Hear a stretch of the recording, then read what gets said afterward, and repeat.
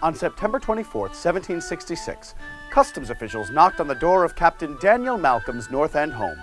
They were acting on a tip from an anonymous informer that Malcolm was concealing a number of casks of brandy, wine, and other liqueurs, which he had smuggled into Boston. Malcolm showed the inspectors all of his stores and cellars, save for one locked room that the captain had rented out. When the customs officials ordered the door opened, Malcolm donned a brace of pistols and a sword and threatened to blow the brains out of anyone who touched the door. Malcolm was later remembered on his tombstone as one of the foremost in opposing the Revenue Acts on America.